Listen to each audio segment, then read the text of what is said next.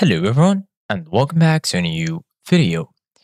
In this video, I'm gonna show you guys how to set lock screen on Wallpaper Engine.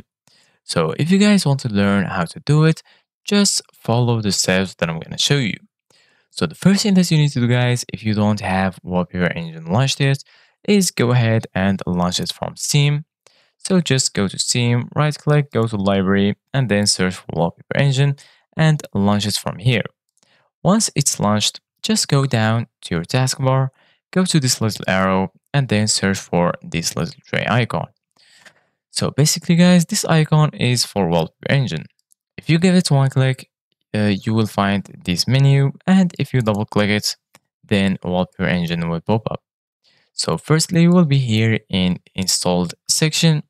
In this section, you will find all of the installed wallpapers on your PC you can select any wallpaper and it will be set as your wallpaper.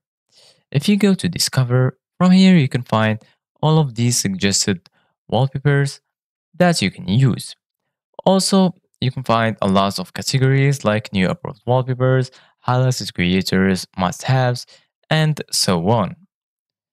And if you go ahead and click on workshop, from here you're gonna find a very big list that includes all of the available wallpapers that you can uh, download from Steam Workshop.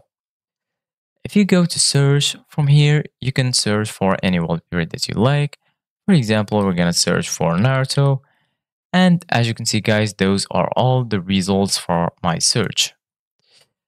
And uh, basically, guys, if you like a wallpaper and set it as your wallpaper, if you want to also uh, make it your lock screen wallpaper, all you need to do guys is go to settings. Once you're here in settings, just go to general and once you're here, just scroll down here in the windows, just search for override lock screen image. Make sure you check it and then click on OK.